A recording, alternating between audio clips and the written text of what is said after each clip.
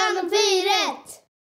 Här är höstens färger och som vanligt så finns det en röd tråd genom kollektionen vilket innebär att du kan matcha mönster och ränder olika färger ihop.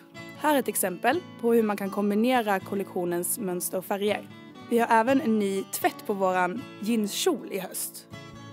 Och som vanligt så kommer våran rand in i olika säsongsfärger.